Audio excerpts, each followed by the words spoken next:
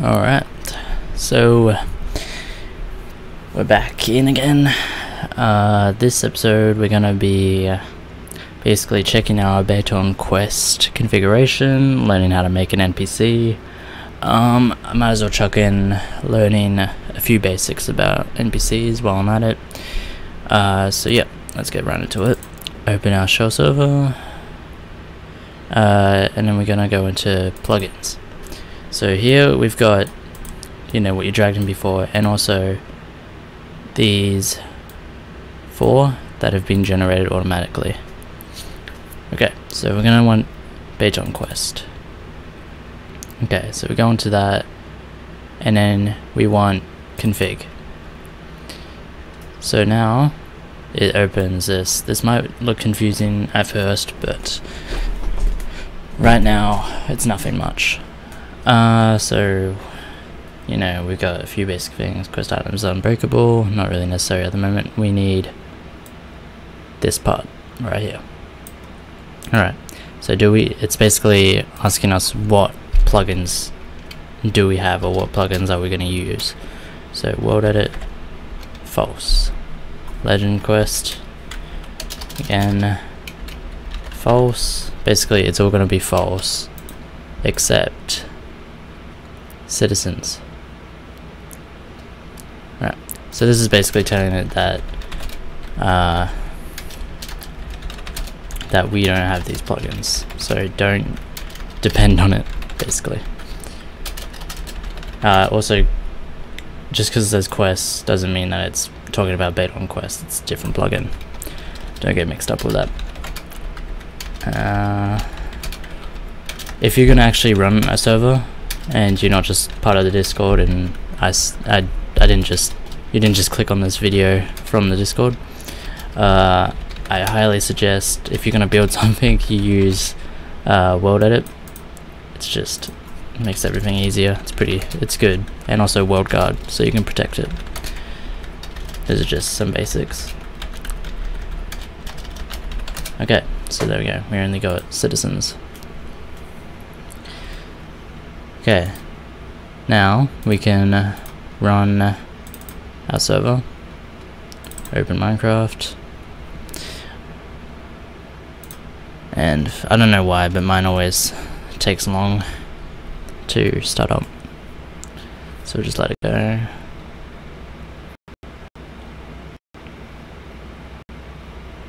Alright, didn't take as long that time. Open our multiplayer tab and then join it. Alright, so now that we're in, let me just full screen this so it's better. Alright.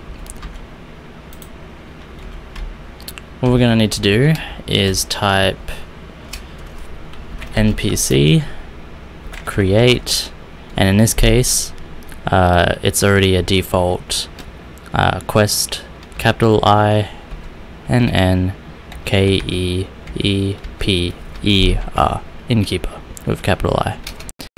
So that will create this guy with a with a nice little detailed skin. Okay. Also, if we right click him. Ah, no, okay, all good. So yeah, this is how you make an NPC. Super easy. Uh, if we do NPC help, we get these uh, commands. So there's eight pages of this and I'll just do a select few of them. So for example we can do npc inventory and it will open his inventory. Right. If it doesn't let you do that it can sometimes say please select or something like that. Please select an npc then you just do npc select when you're looking at them. There we go.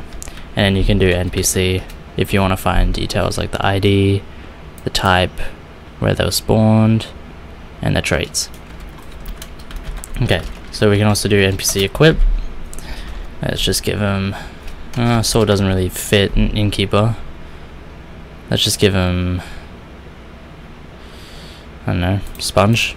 Say he's cleaning the cleaning the surface. Uh, so then we do NPC equip again to get out of that.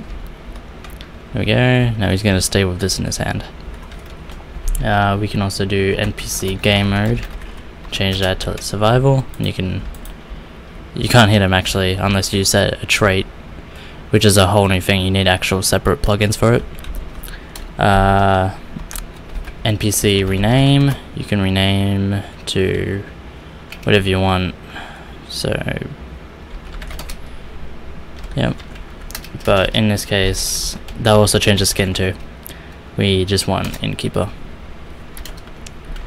Uh, you can also do NPC skin, and if we want the Keb skin because we thought it looked good, you know, we can change it to that. But we're just going to stick to the Innkeeper. Alright. Uh, we can also do NPC look. This will make NPC look at you. Nice little feature, makes them look a little more alive. so yeah, that's just a few basics. Uh, I'm not going to dig into it, but yeah. So now, if we go into our plugins, BetonQuest, we're going to set up the our basically sample quest, which is if we go default, conversations, and innkeeper, as you can see, same name. I did it for a reason. I'm not just going crazy. Okay, so here's the setup for this sample quest. Not necessary at the moment, but it's a good reference if you're creating your own. Quit out of that, and let's go back to the BetonQuest route. And then we want to go default again, and then main. Okay, so here you can see NPCs. Basically, we've got only one number in here. Alright, so this number is the ID of the NPC that you spawned. So if you want to find the NPC ID, NPC select, yep, NPC. And there you go, ID. Let's go ID 1. Alright, so let's stop.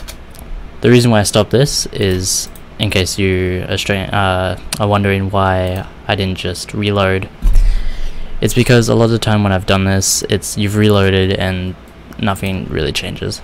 So we're just going to stop because it basically just starts back up straight away again. So we can go straight back into it.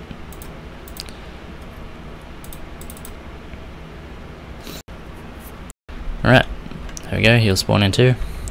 If we right click him, the conversation will start.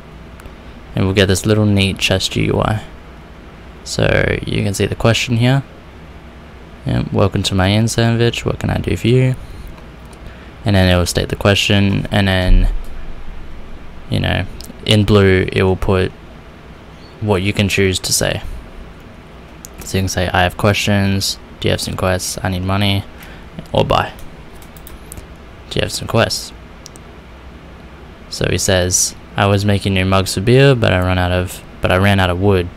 Can you bring me some from the nearby forest? So we can choose to decline. On the other hand, I don't want that money or sounds okay. So let's go sounds okay.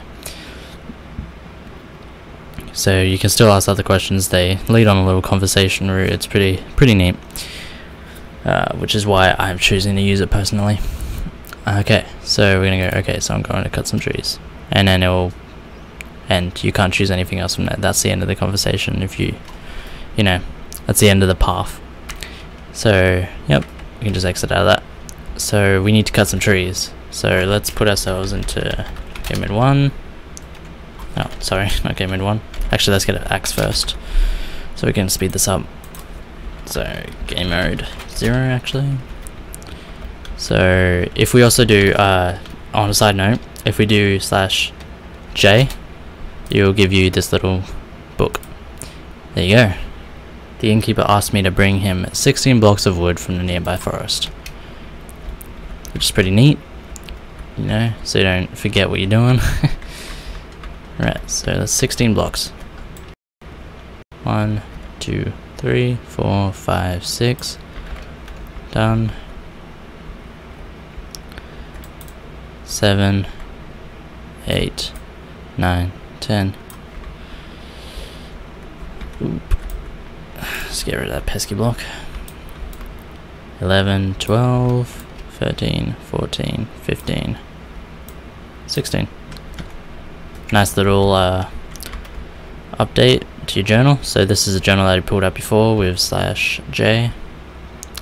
If we open it again, the innkeeper asks me to bring uh, him 16 blocks of wood from nearby forest. Yep, that's what we said before. So it's been updated. Timestamp here. I collected 16 block of wood blocks should be, and it should have another L. But that's alright. You get the you get the picture. I should return to the innkeeper. Alright, so let's just go one. We don't need to be in survival anymore. Because it's actually... The reason why I went into survival and didn't just take it out of here is because it actually checks if you are... You can actually make a check that you went out and destroyed the blocks and collected them. Or if you collect the blocks. So if we open him again... How's it going with that wood? I collected all the wood. Comes up as a new thing. So this is basically a condition to say that the the player has 16 wood or they've completed the task basically so boom you take it and make an exchange. Boom. Emeralds easy. So that's basically a sample quest. If this hasn't worked for you then this is like level this is like level zero of it. If you can't get this innkeeper to start a conversation then you need to fix it like right away. Uh, the reason why uh, you can also do it with a, I think a clay block. Uh, this is if you don't have citizens, you didn't install it. That means also in the config, you need to, um, if you just don't want to use citizens or if it's too heavy for the for your computer, citizens you can set it to false and you won't have to do the ID except instead sorry, you put a sign down on a clay block, bracket, square bracket, NPC, capital letters, and then on the next line, so line number two, in keeper. Oh, I think there we go. And we put a head down. And you would be able to right click the head and it would work but we have the citizens enabled or set to true so it will work here instead which is much more preferable personally. Yeah. So uh, basically super simple uh, fundamental part though. Uh, next episode I'll tell you how to start. Just a simple conversation. Alright see you then